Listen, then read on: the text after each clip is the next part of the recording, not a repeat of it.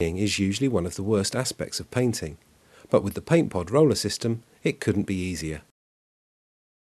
To optimise cleaning, remove as much paint as possible from the roller by rolling out on the wall or a piece of newspaper. Before cleaning, the unit must be drained of paint. To do this, place the roller in the docking station and press the drain button. This will reverse feed unused paint back into the paint pack, stopping automatically when completed. Unlock the dip tube by twisting it anti-clockwise and then remove it. Excess paint on the dip tube will be removed by the dip tube wipe, although any paint on the end of the tube may need to be removed with a rag. The dip tube may be placed on the rest inside the lid whilst the paint pack is removed. Using the side handles, remove the white chamber from the front of the unit and fill to the fill line with 5 litres of warm water. Replace the chamber in the unit, close the lid and reinsert the dip tube, twisting it to lock in position. Press the clean button to start the cleaning cycle.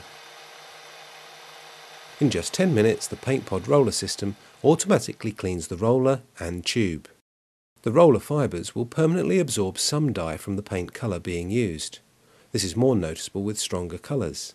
However, this tinting will not impair the performance of the roller.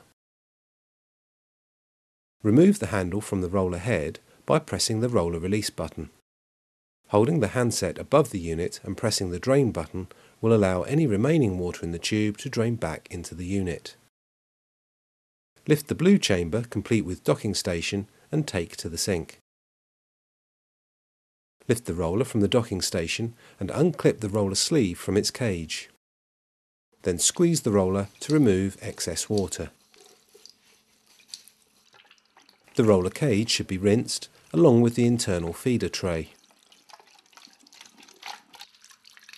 The tray should also be rinsed. Discard the waste water from the chamber and rinse with clean water. Any remaining water in the white chamber can also be disposed of. To store the unit after cleaning, detach the handle from the roller and remove the dip tube.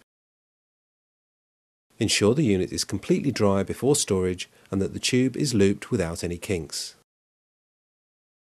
Painting just got easier.